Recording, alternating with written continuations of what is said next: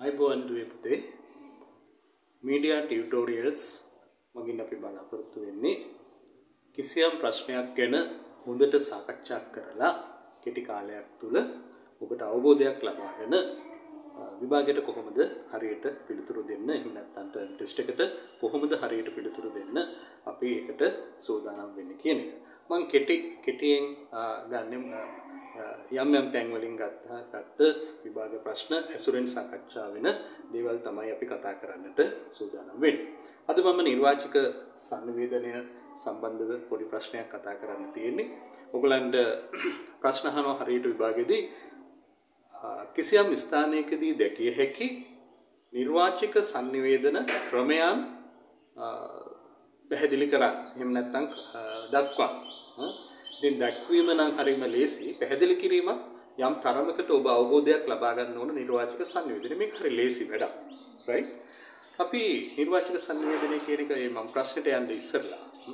ප්‍රශ්නේ තමයි ඕනනම් අපිට ගන්න පුළුවන් වෙන්නේ. ආගමික අවස්ථාවක දැකිය හැකි නිර්වාචක සංනිවේදන ක්‍රම. මේක පහුගිය විභාග ප්‍රශ්න පත්‍රයකත් සාකච්ඡා කරපු ප්‍රශ්නයක්. ආගමික ස්ථානයක දැකිය හැකි නිර්වාචක සංනිවේදන ක්‍රම දක්වන්න කියලා තියෙන්නේ. හැබැයි පැහැදිලි කිරීමකටත් යන්න ඔබ සූදානම් වෙන්න ඕන කෙටියෙන් හෝ.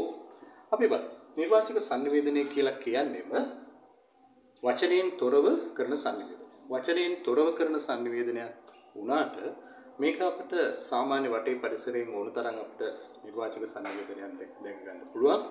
ඒ වගේම තමයි අපිට පංචේන්ද්‍රයන් හරහා අපි දන්නවා අපේ ඇස කනනාසය දිව ශරීරයේ මේ සියල්ලගෙම දැනෙන්නේ හුඟක් වෙලාවට නිර්වාචක සංනිවේදනය. කෙසේ වෙතත් අපි නිර්වාචක සංනිවේදනයට කිසියම් පැහැදිලි කිරීමක් ගන්නවා.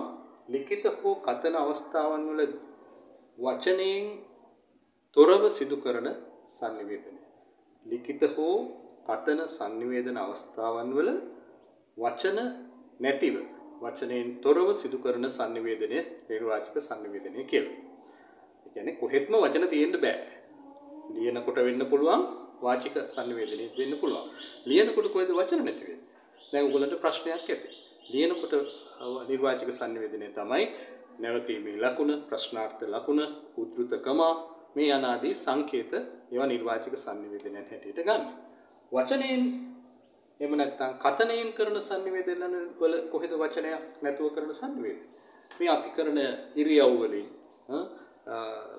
හස්ත සංඥා, මුහුණෙන් දකින සංඥා, ඉඟි මේ සියල්ලක්ම වාචික සංනිවේදනයෙන් වචනයෙන් කරන සංනිවේදනයන් තුල ගැබ් වෙලා තියෙන නිර්වාචක සංනිවේදන ක්‍රම.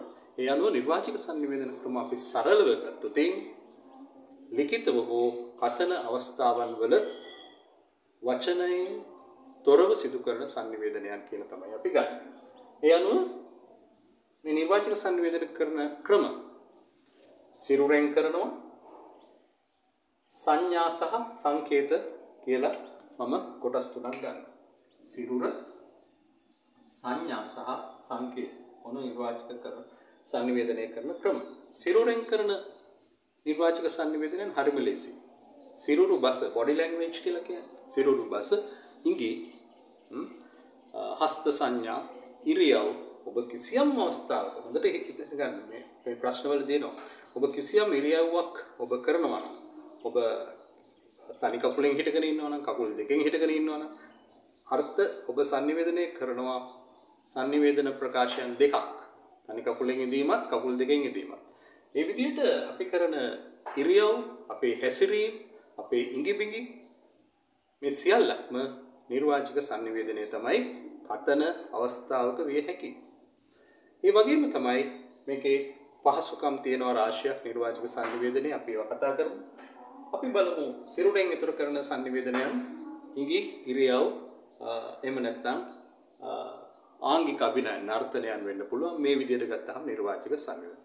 සංඥා සංඥා කියන්නේ අපි යනකොට මාර්ග සංඥා පුංචි කාලේ ඉඳන් ඔයගොල්ලෝ දන්නදී මාර්ග සංඥා නිර්වාචක සංනිවේදනය. ඒතර විශ්වීය සංඥා තියෙනවා.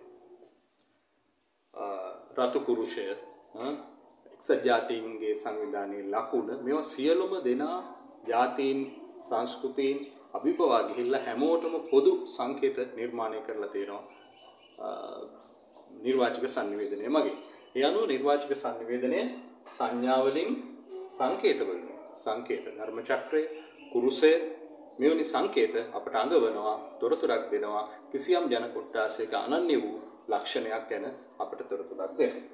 ඒ අනුව දැන් අපි කතා කරේ මේ ඇහැට පෙනෙන සංඥා නිර්වාචක සංඥා විතරයි. ඇහැට පෙනෙන නිර්වාචක සංඥා විතරක් නෙවෙයි කනට ඇසෙන නිර්වාචක සංඥා ඕන තරම් තියෙනවා.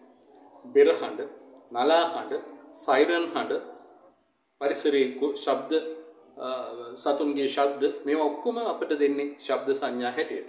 එතකොට මේ මේ විදිහට ගත්තට පස්සේ නිර්වාචක sannivedanaya ශබ්ද සංඥා රූප සංඥා කියලා ප්‍රධාන වශයෙන් කොටස් දෙක අපට හදාරන්න නියමිත වෙන්නේ. ඊට අමතරව පංචේන්ද්‍රයෙන් එනවා අපිට ගන්ධ සංඥා එනවා මේවා නිර්වාචකයි ස්පර්ශ සංඥා එනවා නිර්වාචකයි රස සංඥා එනවා නිර්වාචකයි. අපි ඒව ගැන එච්චරම කතා කරන්නේ නැහැ. හැබැයි දැන් අපි යමු බලන්න මේකේ තියෙන වාසි සහගත තත්වයන් මොනවද කියලා. නිර්වාචක සංවේදනයේ වාසි තත්වයන් තමයි ඊටාම සරලයි. මේ නිර්වාචක සංවේදනයේ සංකේතයක් ඊටාම සරලයි. හැබැයි අර්ථ රාශියක් ගැබ්බෙලා තියෙනවා මේ නිර්වාචක සංවේදනය තුල. හැබැයි ඒ අර්ථ නිවැරදි අර්ථ ඉතා දක්ෂ සංනිවේදකයෙක් විසින් නිර්මාණය කරපු ශක් මේ සංකේ සංඥාව. ඒක සදාකල්ම තියෙන සංඥාව. ඒක වරදින්නේ නැහැ. ඒක නිසා මේ නිර්වාචක සංනිවේදනයේ යෙදෙන්න ඉතාමත්ම දක්ෂ සංනිවේදකයෙක් වෙන්න ඕන ඔබ. ඒ වගේම තමයි මේක හරි ඉතාම වේගෙන් යන අයට පවා ඉතා ඉක්මනින් මනසට ධාරණය කරගන්න පුළුවන්. ඔබ දන්නවා මාර්ග සංඥා. වේගෙන් යන රියදුරාට ඉදිරියේ තියෙන ඉදිරියේ සිදුවන අනතුරෙන් වැළකීමට මේ නිර්වාචක සංනිවේදනය ඉතාමත්ම ප්‍රයෝජනවත් වෙනවා. ඒ අනුව නිර්වාචක සංනිවේදනයේ වාසි සරලයි, පහසුයි, වේගයෙන් වුවද ධාරණය කිරීමේ ශක්තිය ෂණික බවක් තියෙනවා ඒක සැරේම අපි දකිනවා වාචික සංනිවේදන කිසියම් කාලයක් අපි ගන්නවා මේක ධාරණය කරගන්න. හැබැයි මේක ඉතා කෙටි කාලයකින් වාචික සංනිවේදනයට වැඩි සාපේක්ෂව ඉතා කෙටි කාලයකින් මේක අපි ධාරණය කරගන්න සමත්. ඒ වගේම මේකේ වාසියක් වාසියක් සහ මේකේ නිපුණතාවයක් තියෙන්න ඕන විධිමත්ව මේක නිර්මාණය කරන්නට හැකියාව නිර්වාචක සංනිවේදකයට තියෙන්න ඕන. නිර්වාචක සංවේදනය සංනිවේදකයා යනුව ඒ කියන්නේ ඊටාම සංනිවේදන කුසලතාවයන් අතින් රූප කලාමය හැකියාව බුද්ධිමය හැකියාව මේ දෙකම එක්තැන් කරලා ඔහු නිර්වාචක sannivedanaye ඔය අපි මගතුටේ දකින සංඥාවන් එහෙම නැත්නම් විශ්වීය සංඥා නිර්මාණය කරන්න පුහුණුව ලබන්න ඕන. ඒ වගේම අපිට තවත් ලොකු අරුතක් තියෙනවා ලොකු වාසියක් තියෙනවා නිර්වාචක sannivedanaye. අපි මේ කරන සියලුම වාචික sannivedanayන්ට උපකාරී වෙන්නේ නිර්වාචක sannivedanaye. අපි දන්නේම නැතුව මම දන්නේම නැතුව මම ඔබට කතා කරනකොට මේ මගේ අත පය එහෙන් මෙහෙන් හැසිරෙනවා මගේ ආංගික චලනයන් මගේ මුහුණේ තියෙන එක්ස්ප්‍රෙෂන්ස් මුහුණු ඉරියව් මේ සියල්ලක් මා කරන කතනයට මට උපකාරී වෙනවා. ඒ අනුව මේ නිවාචක sannivedanයේ වාසි ඔබට ලියන්න කිව්වොතින් සරල බව, ෂණික බව, මතකේ රඳවා ගැනීමේ පහසුව වාචික sannivedanයට උපකාරී වන බව. අපි දැන් බලමු මේ ඔක්කොටම අමතරව අපි පුංචි ප්‍රශ්නයක් සාකච්ඡා කරලා. මෙහෙම ප්‍රශ්නයක්. ආගමික අවස්ථාවක දැකිය හැකි නිර්වාචක sannivedana ක්‍රම. ආගමික අවස්ථාවක ඔබ පන්සලට යනවා, ඔබ පන්සලට යනවා, ඔබ පල්ලියට යනවා. මේ අවස්ථාව ආගමික අවස්ථාවක් නම් තියෙන්නේ එතන දැකිය හැකි වූ නිර්වාචක sannivedana ක්‍රම. මේ යන මම ගන්නවා එක ශබ්ද සංඥා. ආගමික ස්ථානයේ අපිට ශබ්ද සංඥා දකින්නට පුළුවන්. ආගමික ස්ථානයේ ශබ්ද සංඥාව කියලා කියන්නේ මොකක්ද? බෙරහඳ නලාහඳ.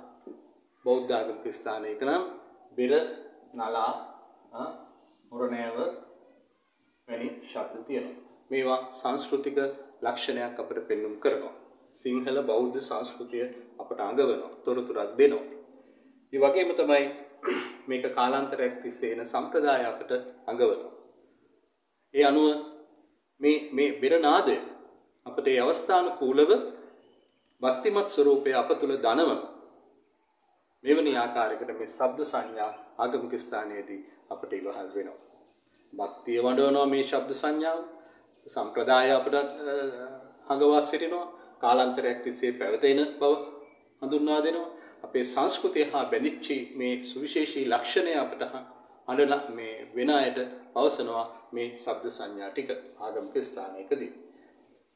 ඊට පස්සේ මම ගන්නවා කොඩි ප්‍රදර්ශනය.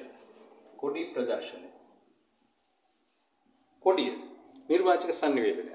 නිර්වාචක සංනිවේදනය හැබැයි ඒකත් අර වගේ දක්ෂ සංනිවේදකයෙක් විසින් නිර්මාණය වෙච්ච සංනිවේදන සංකේතයක් සංඥා.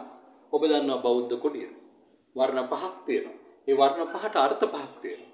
එතකොට ඒකෙත් ඒතර කොටිය කියන නිර්වාචක සංනිවේදනය දක්ෂ සංනිවේදකයෙක් විසින් නිර්මාණය කරපු කාලාන්තරයක් තිස්සේ පැමිණි අපේ සංස්කෘතිය ආගමික හැඟීම අපට දනවන සංඥාවක් හැටියට අපිට ගන්න පුළුවන්. ඊට පස්සේ මම ගන්නවා ඉරියව්. ආගමික ස්ථානයක තියෙන ඉරියව්. ආගමික ස්ථානයක තියෙන ඉරියව් තමයි වැඳීම. වන්දනාමාන කිරීම. ඔබ දන්නවා වන්දනාමාන කරන ඉරියව් බෞද්ධ මේ ආගමික ස්ථානයක නම් පහක් තියෙනවා. මේ අනුව මේ ඉරියව් අපට දනවන්නේ භක්තිය සිදු කරන ක්‍රියාවට ඇති කැපවීම, පේවීම ඔහුගේ තියෙන ආගමික ලැබියාව මේ විදියට. ඒ වගේම තමයි අවස්ථානුකූල දෙයක් වැඳීම. කෙනෙක්ට හිටගෙන වඳින්න පුළුවන්, කෙනෙක්ට ඉඳගෙන වඳින්න පුළුවන්, තව කෙනෙකුට දිගා වෙලා වඳින්න පුළුවන්. ඔහුගේ අවස්ථාවට අනුව ඔහුගේ භක්තිය ප්‍රකාශ කරන ඉරියව්වක් හැටියට ආගමික ස්ථානයේදී මේ වන්දනාමාන කිරීම දකින්න පුළුවන්. ඔබ දන්නවා දේවාල වලට එහෙම ගියහම වන්දනාමාන කරන හැටි ඔවුන්ගේ භක්තිය ප්‍රකාශ කරන්න නිර්වාචක sannivedanaya පෙරලි පෙරලි වඳිනවා. කතරගම වැනි විශාල ප්‍රසිද්ධ භක්තිමත් දේවාල වලට ගියහම අපි දන්නවා භක්තිකයෝ වඳින ආකාරය ඉරියව්. ඒතර ඒ අනුව මේ වන්දනාමාන ඉරියව්ව අපිට විශාල sannivedana තොරතුරු රාශියක් අපට ගෙනෙනවා. ඊට පස්සේ මම අවසාන වශයෙන් ගන්නවා ආලෝක පූජාව. Right? ආලෝක පූජාව. ඒ කියන්නේ පහන් දැල්වීම. පහන් දැල්වීම සරලයි. හැබැයි මේක නිර්වාචක සංවේදනය. මේ පහන දැල්වීම තුලින් අපට ආලෝකය තුලින් අපි සංනිවේදනයක් කරන ආගමික කටයුත්තක් මේ සිද්ධ වෙන බව.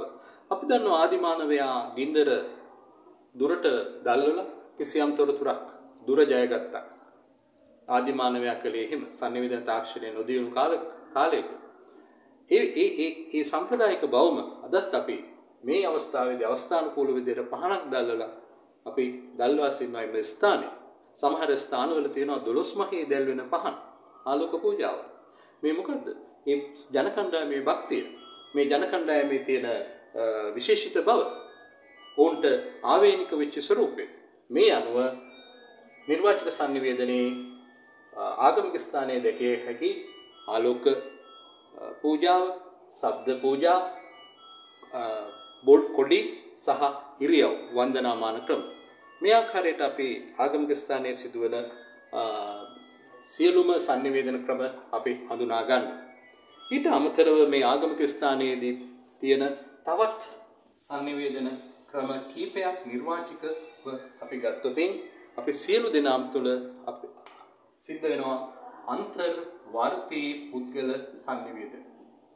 අන්තර්වර්තී තමා තුළ තියෙන භක්තිය තමා තුළ තියෙන ලැබියාවාගමට මේ සියල්ලක් තමා තමාට කතා කරලා තමාගේ පිහිට අයදින් අයදමින් සිටිනවා. තමාගේ සරණක් තමාට සරණක් බලාපොරොත්තු වෙනවා. ඒ අනුව අන්තර්වර්තී පුද්ගල සංනිවේදනය ආගමික ස්ථානයේදී අපිට දකින්න පුළුවන්. ඒ වගේම සමූහ සංනිවේදනය අපිට දකින්න පුළුවන්. එක්ව ගාථා කියනවා එක්ක පූජාවට පල්ලියේ සම්බන්ධ වෙනවා. ස්වාමි කියන ස්වාමි සමග එක්ව ගීතිකා ගායනා කරනවා. එවැනි sannivedana ක්‍රමයන් සමූහ sannivedana ක්‍රමයන්. මේ අනුව එහෙම නැත්නම් බෞද්ධ ස්ථානයක ධර්මදේශනා ක්‍රියාත්මක වන වෙලාව සමූහ sannivedanaya ස්වාමින් වහන්සේ විශාල පිරිසකට අපට බණ දේශනා කරනවා සමූහ sannivedana. ඊට අමතරව මම නිර්වාචක sannivedanaයේදී මේ සියලුම ග්‍රාහකයින් මේ අවස්ථාවට සම්බන්ධ වෙන පුද්ගලයන් පැමිණෙන ස්වરૂපය පොඩ්ඩක් හිතන්න බලන්න. ඔවුන්ගේ ඇඳුම් විශාල sannivedana තොරතුරක් අපිට දනවනවා. ඔවුන් ගෙදරින් පිට වෙච්ච ගමන්ම යම් කෙනෙකුට තොරතුරක් දෙනවා මම මේ යන්නේ ආගමික ක්‍රියාවලියකට. සුදු වස්ත්‍රය එහෙම නැත්නම් සංවරශීලී ගමන සංවරශීලී කතාව මේ සියල්ලක්ම ආගමික ස්ථානය තුල අපිට ගන්න පුළුවන්. ඒ අනුව ඇඳුම සහ ඉරියව් කතාබහ මෙවැනි දේවලුත් අපිට නිර්වාචක sannivedanayන් හැටියට අපිට ගන්න පුළුවන්. ආදරණීය දුවේ පුතේ මම අද කතා කරේ පුංචි මාතෘකාවක් පළවෙනි පාඩම් වලින් අපි මේ විදිහටම නැවතත් ඊළඟ ටියුටෝරියල් එකේ හමු වෙමු. ආයිබෝවන්.